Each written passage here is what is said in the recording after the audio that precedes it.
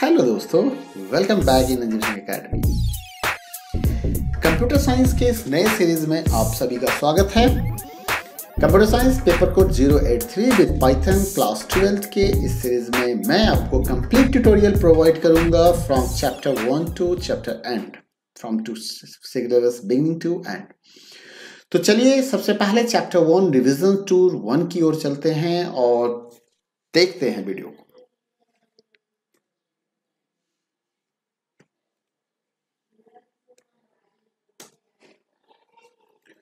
सबसे पहले हम बात करें पाइथन इंट्रोडक्शन के बारे में कि व्हाट इज़ पाइथन तो Python is an object oriented interpreted high level language and very powerful programming language and this language was developed by Guido van Rossum in 1991 it's a very useful language now it is because you know the everything is possible with the help of the Python first thing before going to learn about the Python और anything you have you must need to install the python on your computer and from where you will get this you will get is the python from the python.org website. And you have to download the file from the uh, there. Like this here you have to type www.python.org and from this side you can download your file. And here only you will get the options to download the file. And after the downloading you have to install the file so this option is here. From here you can download. Just click on the download versions. And this is the python 3.8.2 this is the latest version of python. And this you have to download from here. After downloading you will get a downloaded file. And you have to double click there. And you have to follow the instructions. For the necessary instruction you have to follow for the downloading of file. Okay. Next after downloading now you have to come to know okay, uh, you install the file the working in python how you can work in python. Then normally you can work in python in two mode. The one mode is called interactive mode and second mode is called script mode. I'll just show you what is the interactive and script mode. I'll start my python from here. And look at this this is the python screen. So in this you will see that okay, this is called interactive mode. What is the meaning of the interactive mode? Interactive mode means if i'm writing here any instructions it will give the result. Means what the command you will give here you will get the output immediately just after giving the command. This is called interactive mode. Means if i'm written here print hello it show me hello here also. This is called interactive mode. Okay print hello print how are you how are you? Thanks, print. Thanks for watching. Thanks for watching. So, in this way, you can show the message will show okay so this is called interactive mode. The another mode is called a script mode. For the script mode you have to click on the file and you have to uh, click on the file and the select the new options and you will get the documents here. This is the script mode script mode where you will write the command like this. I'll write the command and print a but it's not show the output after the printing. So here you have to save your file. So click on the save as and when you try to save your file it will save your file with the uh, just you have to select the folder where you want to save and now click on the save button like this. I'm saving this file as a test.py and after saving this file you have to click on the run and the option is there run module. You click on the run module and you will get the output. The output will shown in interactive mode. So this is the script mode and this is the interactive mode. Okay. So in this two mode you can work in a python. Move to the next slide okay what is this now? Now the first basic components of the python you have to learn and that is uh, you have to learn that is called tokens in python. Okay what is token every programming language because we know that ki python is a language it is a programming language. So every programming language has their own tokens. Like if we are going to talk about the english english having their own token and that token is known as the english language is a parts of a speech. In the same way your computer programming language is also having their token and that token is the smallest individual unit of the program and with the help of this token you can form the sentence you can form the instruction in that particular language. Like in english if you have to form the any sentence you required noun verb adjective okay? These all things you are required there pronoun these all things in the same way to make the sentence make the instruction in a computer programming language you need a token. There are different types of the token in python. There are five types of the token keyword identifier literals operators and punctuator.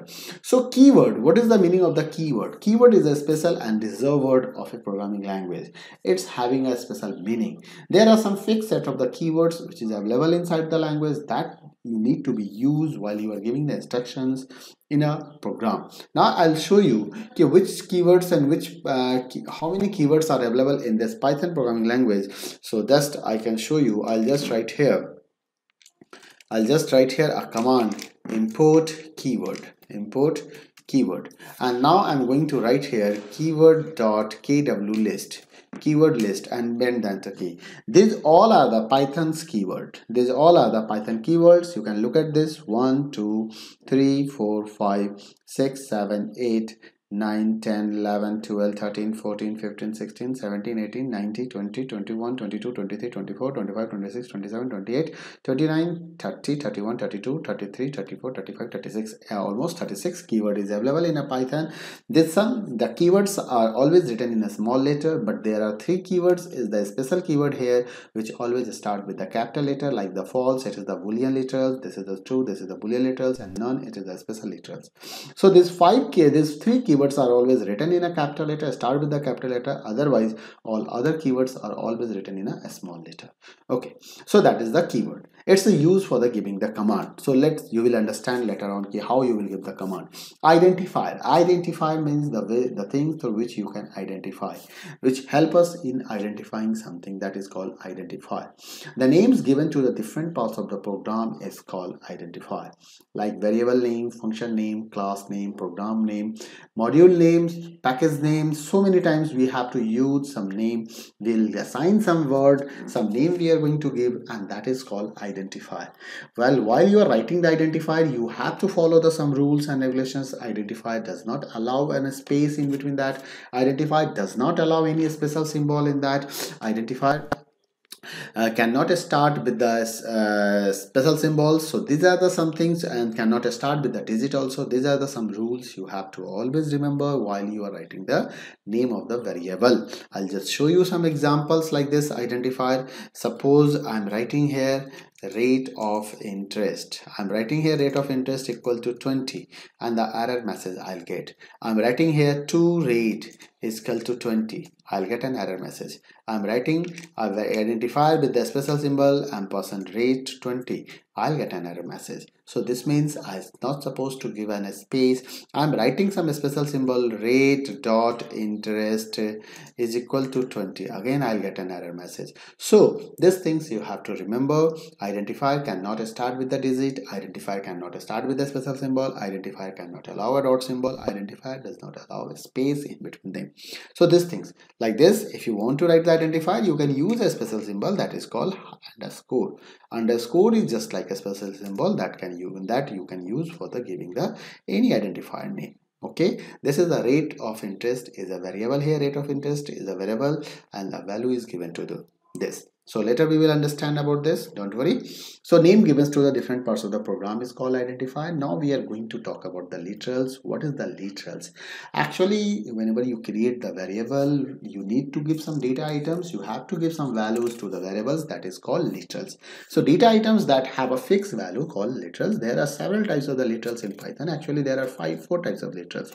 A string literal numeric literal boolean literals and non-literal. So string literals if i'm going to talk about the string literals means the name written by you. Means I'm writing a variable name I'm giving a value single character inside the single quote this is the string literal. How you come to know it is a string literal? I'll just show you the type A it's showing that str means the value given to the A is the single character C is a string literal.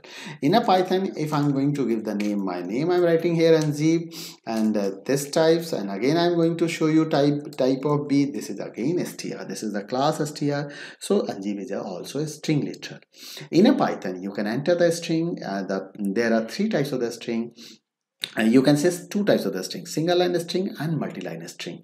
The another thing you can use the three different types of the codes to write the string in python. Triple quotes uh, triple quotes uh, and look at this. I have used the triple quotes here. So you can you you can write the string in three different ways in python by using single quote by using double quote and by using triple quotes. Triple quotes having the one advantage that you can lie, write multi-line string. If i'm going to print the c look at this. It's print the c in a three different lines. Why? While you are writing the triple quotes eh, with the string and you are pressing the enter key it's using the slash n in place. Look at there. Just after v this is the slash n just after v this is the slash n and you must be know about this. The slash n is known as the backspace special sequence character sequence okay? And it's a, have a special meaning slash n means new line okay so that is the literal that is the string literals. Now we are going to talk about the integer literals. If i'm going to write about 160 like this this is the integer literal. How you come to know? I'll just check the type of the i. It's showing the integer literals. Look at here. If i'm giving here f equal to 23.489 and now I'm going to check this class. Sorry not class. I'm going to check the type of f and it's showing that it is a float literals. Okay. There is a one more literals is suggested given support by the uh, pythons and that is the that is called complex literals. Yeah it's an error here because I have to use here J so now type of C I'm going to show you this is the complex literal. So there are three types of the numeric literals in Python integer, integer, float and complex. Normally this i we are using in a in a mathematical symbols. In in a maths you if you have to write the complex number you have to use the i here. But in a python you have to use the j here. This is the real part and this is the imaginary part. Okay? So if you write there print c. So look the look at the output how it's a printing like this. 5 plus 6j in this way okay? So it's having their imaginary and real parts. Later we will discuss about this.